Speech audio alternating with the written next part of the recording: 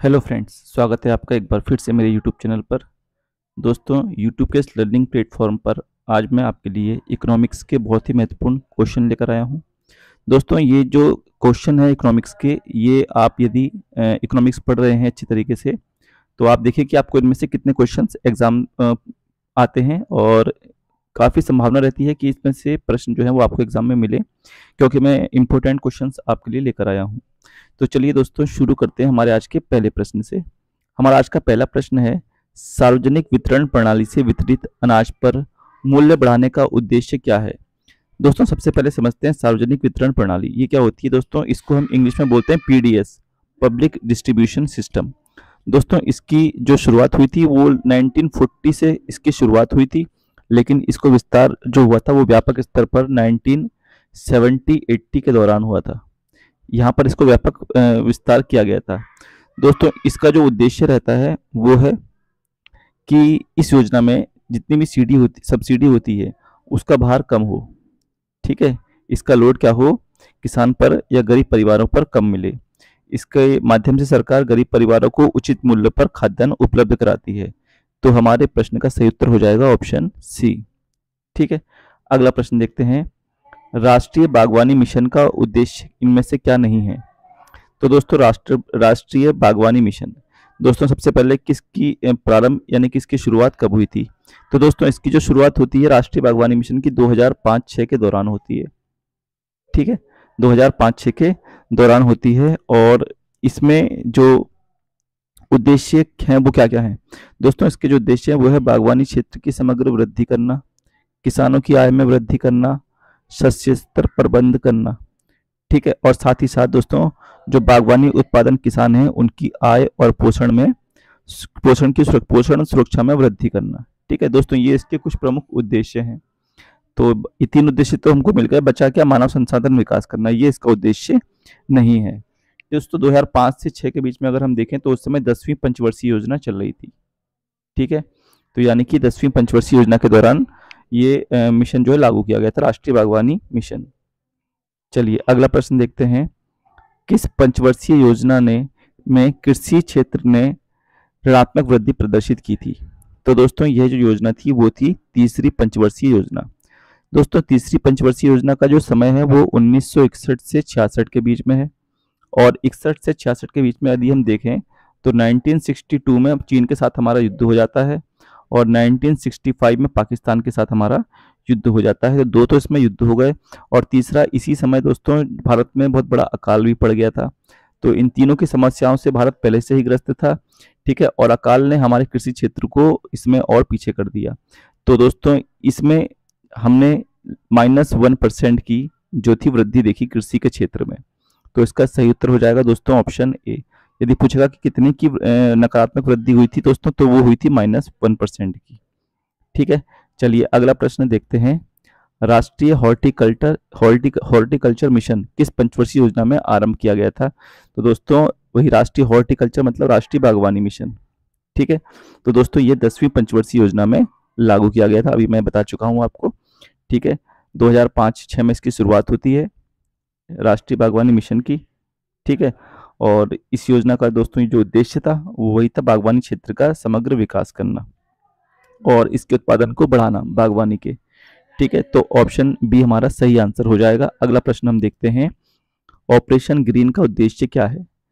दोस्तों operation green ठीक है? इसका उद्देश्य है दोस्तों, टमाटर, प्याज और आलू का मूल्य नियंत्रण करना है। ऑप्शन ए इसका सही आंसर हो जाएगा। ठीक है तो दोस्तों इसकी शुरुआत कब होती है? दोस्तों इसकी शुरुआत 2018-19 में बजट के दौरान होती है, जब 2018-19 का बजट आता है और आलू, टमाटर और प्याज इनकी कीमतों को स्थिर रखने हेतु ऑपरेशन ग्रीन की शुरुआत की गई थी। दोस्तों इसका उद्देश्य था कि किसानों को उनकी उपज की सही कीमत प्राप्त हो और उपभोक्ताओं को भी उपयुक्त कीमत उपयुक्त कीमत पर यह उत्पाद प्राप्त हो। ठीक है, इसके लिए दोस्तों 500 करोड़ का बजट में प्रावधान भी किया गया था अलग से ऑपरेशन ग्रीन के तहत। चलिए, अगला प्रश्न देखते हैं। प्रधानमंत्री किसान संपदा योजना किससे संबंधित है? ठीक है दोस्तों तो ये जो योजना संबंधित है दोस्तों, ये कृषि क्षेत्र से संबंधित है। ऑप्शन ए इसका सही उत्तर हो जाएगा। ठीक, अगला प्रश्न देखते हैं। राष्ट्रीय किसान आयोग का गठन कब हुआ था? तो दोस्तों, राष्ट्रीय किसान आयोग का गठन जो हुआ था, वो हुआ था 2004 में। ऑप्शन सी इसका सही आंसर हो जाएगा। किसकी अध्यक्षता में हुआ था? तो दोस्तों, यह हुआ था एम एस स्वामीनाथन की अध्यक्षता में। ठीक है? और दोस्तों, ये आप जानते हैं कि एम एस स्वामीनाथन को भारत में हरित कृषि का जनक कहा जाता है, हरित क्रांति का जनक कहा जाता है। विश्व में नॉर्मन ई बॉलोक को हम हरित क्रांति का जनक बोलते हैं। ठीक है? भारत में एम एस स्वामीनाथन को कहा जाता है। चलिए, अगला प्रश्न देखते हैं। वर्तमान में भारत का सबसे बड़ा वस्त्र उद्योग केंद्र है। तो दोस्तों, सबसे बड़ा वस्त्र उद्योग केंद्र है हमारा मुंबई। ठीक है? यहाँ सबसे ज़्यादा कपड़ा मिले हैं। कपड़ा मिले दोस्तों, सबसे ज़्यादा कहाँ पर है? मुंबई में है। ठीक है? यहीं से दोस्तों यूरोपियन देशों को, पश्चिमी एशियाई देशों को और अफ्रीकन देशों को जो कपड़ा है, वो एक्सपोर्ट किया जाता है मुंबई से। दोस्तों, मुंबई को भारत के सूती वस्त्र उद्योग की राजधानी भी कहा जाता है। अगला प्रश्न देखते हैं। स्वतंत्र भारत की प्रथम औद्योगिक नीति की घोषणा कब की गई थी?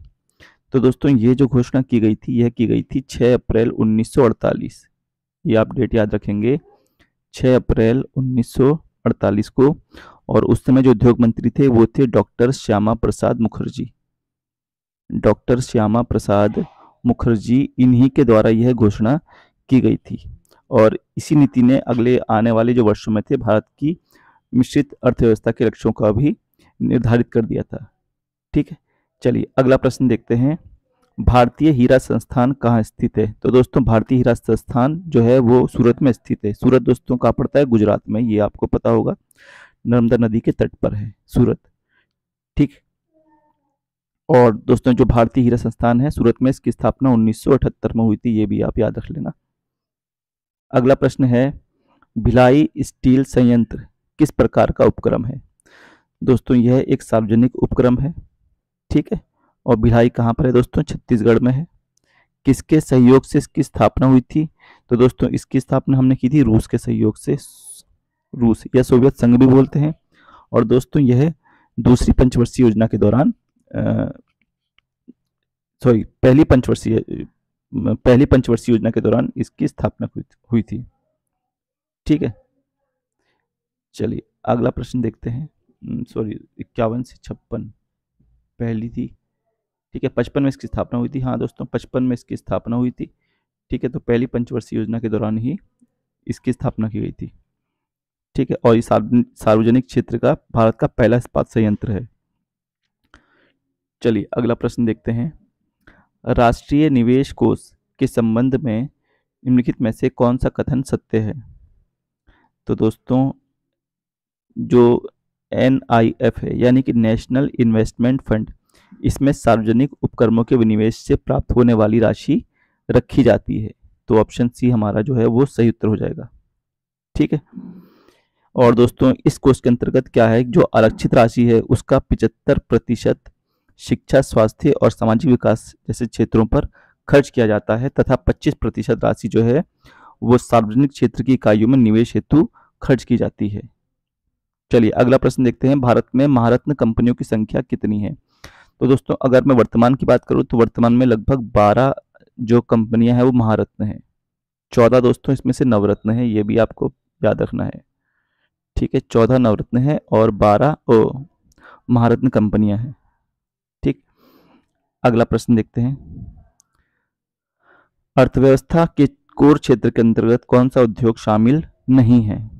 तो दोस्तों, अर्थव्यवस्था के कोर क्षेत्र के अंतर्गत जो है हमारा वो परिवहन उद्योग शामिल नहीं है। अब दोस्तों, कोर क्षेत्र क्या होते हैं?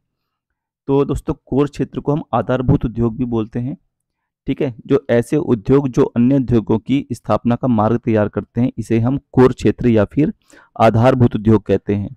इसके अंतर दोस्त, इसके अंतर्गत दोस्तों, विद्युत उद्योग, कोयला उद्योग लोह एवं इस्पात उद्योग, मशीनरी उद्योग, ठीक है? रिफाइनरी उद्योग, सीमेंट उद्योग ये सारे शामिल किए जाते हैं। ठीक?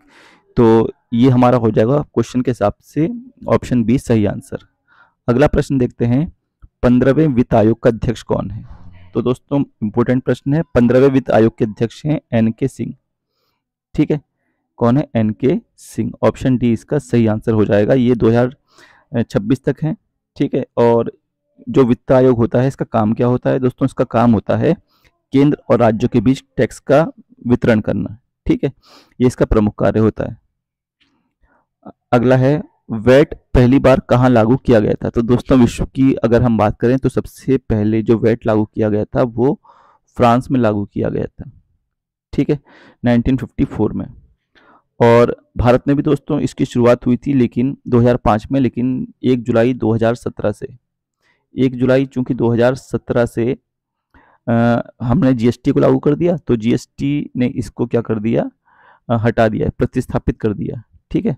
तो जीएसटी जो है वो वैट के स्थान पर आ चुका है। जीएसटी दोस्तों एक अप्रत्यक्ष कर है जो कि सत्रह इनडायरेक्ट टैक्स को समाप्त करके लाया गया है ठीक?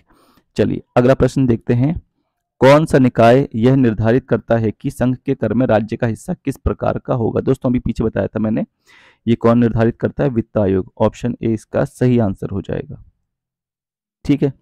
और वित्त आयोग, दोस्तों, भारतीय संविधान के अनुच्छेद 280 के अंतर्गत आता है।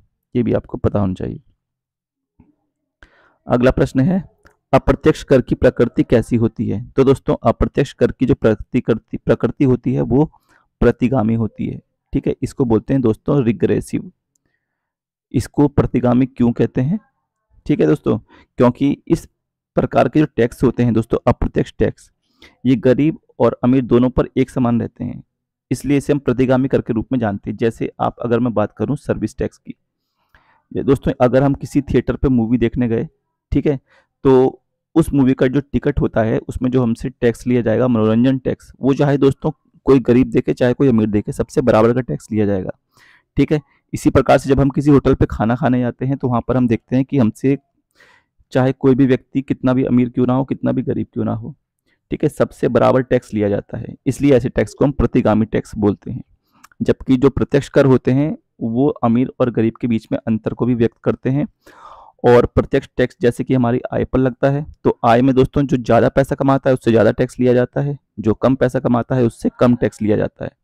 इसलिए प्रत्यक्ष करों को दोस्तों हम प्रगतिशील टैक्स बोलते हैं, ठीक है? प्रोग्रेसिव टैक्स बोला जाता है उसे। चलिए, अगला प्रश्न देखते हैं। भारत में बीमा क्षेत्र किसके द्वारा नियमित किया जाता है? तो दोस्तों, बीमा क्षेत्र नियमित किया जाता है IRDA के द्वारा। ऑप्शन ए इसका सही आंसर हो जाएगा। आई दोस्तों, क्या होता है? तो इसकी फुल फॉर्म होती है insurance regulatory and development authority इसकी स्थापना दोस्तों 1999 में हुई थी। ठीक है, अगला प्रश्न देखते हैं। दोस्तों, ये लास्ट क्वेश्चन है आज का। ठीक है, और इसमें क्या है कि जी ट्वेंटी समूह बीस बड़ी अर्थव्यवस्थाओं से मिलकर बना है। इसे किसके द्वारा प्रतिनिधित्व प्रदान किया जाता है? तो दोस्तों, इसमें जो प्रतिनिधित्व करते हैं, वो राज्यों के प्रमुख करते हैं। ठीक है, इसका सही उत्तर हो जाएगा ऑप्शन डी। दोस्तों जी ट्वेंटी की जो 2023 की बैठक है, ठीक है, ये भारत के नई दिल्ली में हो रही है। ठीक है, भारत में कहा है? नई दिल्ली में। ठीक है, ये भी आपको याद रखना है। और इसमें दोस्तों, इसी बार 2023 में अफ्रीकन संघ भी इसमें शामिल हो गया है। दोस्तों, अफ्रीकन संघ के अंतर्गत, दोस्तों, ये पचपन देशों का एक संघ है, ठीक है? और ये संघ जो है, अब किसमें शामिल हो गया? जी ट्वेंटी में। तो अब ये हो जाएगा, दोस्तों जी ट्वेंटी वन ठीक है? और इसके बाद, दोस्तों, अगर हम देखें तो जी ट्वेंटी की 2024 की जो अगली बैठक होगी, वो कहाँ पर होने वाली है? वो ब्राज़ील में होने वाली है, ठीक है? इससे, दोस्तों, पहले जो जी ट्वेंटी की 2022 की बैठक हुई थी, वो, दोस्तों, बाली, इंडोनेशिया में हुई थी, ये भी आपको याद रखनी है। तो आई होप आप, दोस्तों, आपको यह वीडियो पसंद आया होगा। यदि वीडियो पसंद आए तो प्लीज़ वीडियो को लाइक शेयर और कमेंट्स ज़रूर करें। आगे की, दोस्तों, हम स्टडी जारी रखेंगे नेक्स्ट वीडियो में। तब तक के लिए धन्यवाद।